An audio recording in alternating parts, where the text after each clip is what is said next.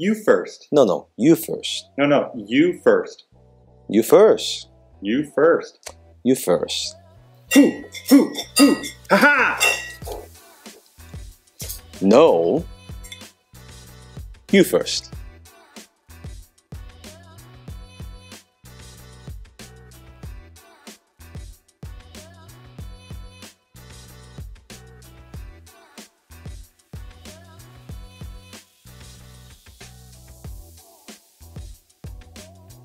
Now, if you are doing business in China or if you're doing business with Chinese, dinner is a very, very important part because Chinese, we do business over dinners, not necessarily in the boardroom. Now, when it comes to eating and dining with the Chinese, there are a lot of do's and don'ts. Today, I'm going to share with you just a few of them. Now, the first thing you got to know when you eat dinner with the Chinese, we always want to serve others first. So it depends on the ranking uh, amount of table or the seniority of the older, uh, we always respect the elderly first, right? People who are more senior. So we would let them eat first. So when the food is here, you don't just jump into it. I want this, I want that. No, usually hey, the senior first, or you will actually serve them first. You actually serve them first. You grab the food, you will serve them first. Another thing that you don't want to do, let's say, imagine you're sitting in one of those big round table where they have a little, like a little spin spinner in the middle you don't want to, let's say you like that dish, you don't just stand up and go all the way there and try to grab the food, kind of like cross the table. That's very, very impolite. You would wait till everybody finishes and then it's your turn, then you would grab what, what you want to eat.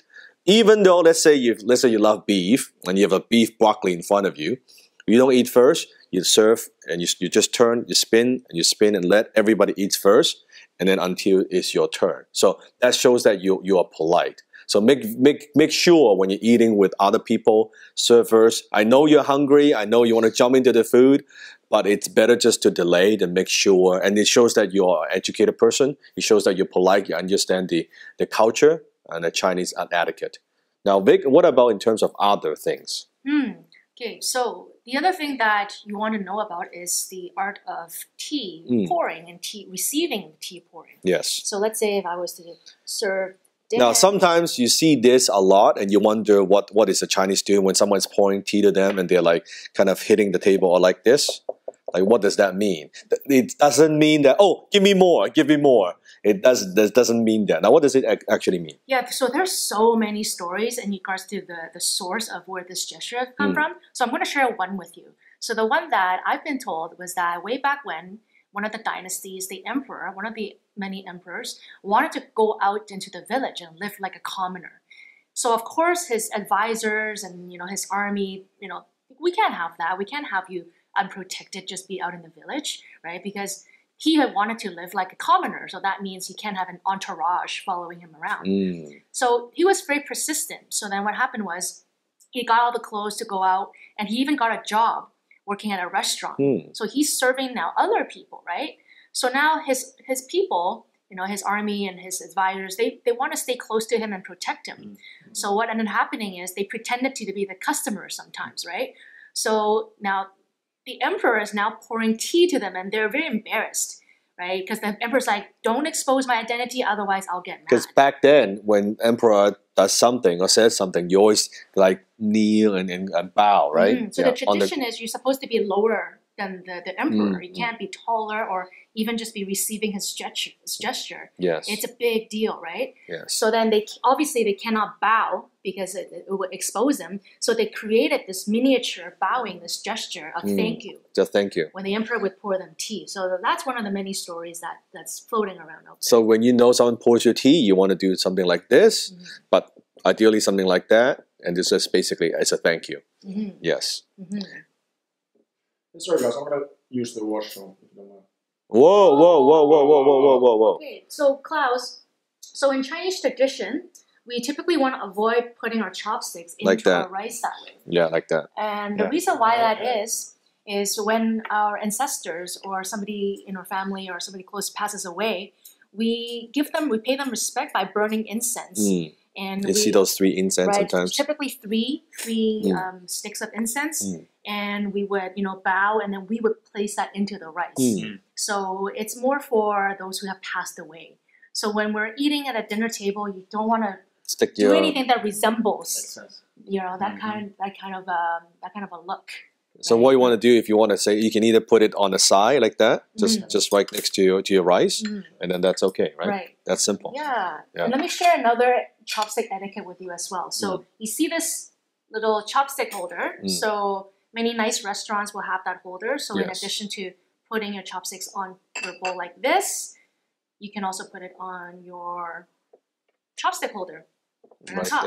Now, with this pair, you can see it's different color from all the ones that we're using. We're Mm. using these black ones. Yeah. Okay.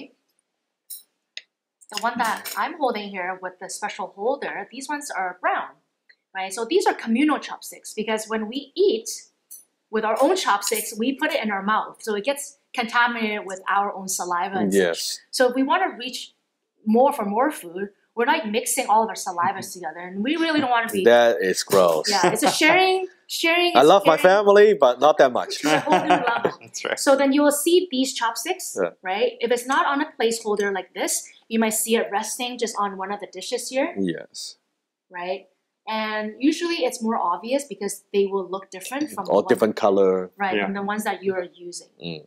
Mhm. And sometimes I see some, sometimes people forget they they're grabbing the food and they, They start they start using that and, and use it as their own And that happens That's a lot, and yeah. they're like, "Oh, I'm so sorry." that's a, that's a big no no. And then they get a new one, right? yes. But so basically, you use this, you grab the food, you put it on your bowl, on your plate, and then you put it back, and then you eat with your chopstick. So it's like an extra layer of, of work, right? yes. But again, it's part of the, the Chinese etiquette. Very, very important, right?